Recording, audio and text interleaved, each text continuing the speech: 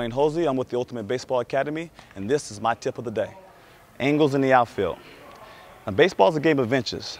And every angle that you that you create must be a good angle directly to the ball, okay? Because that could make a difference. You making a great catch or just missing it, okay? Um, here's the, here's the proper way how to how to get a ball that's hit to your right in the gap or to your left in the gap. You want to get your shoulders up the field. You want to turn and burn. I use the terminology turn and burn, okay? That means getting your shoulders up the field and, and then and then getting a deeper angle, then working your way back to the ball.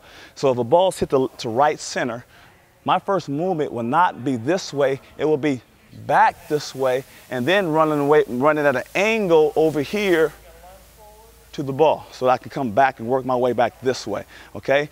The problem with the, what I see with young kids is that they start, the, the balls hit to the gap, they immediately go directly towards the ball this way, and then they find themselves having to, having to veer out towards the ball and it goes over their head.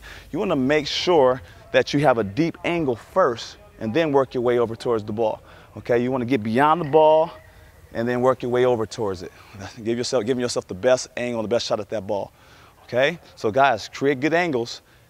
And remember, this is a game of inches. That was my tip of the day.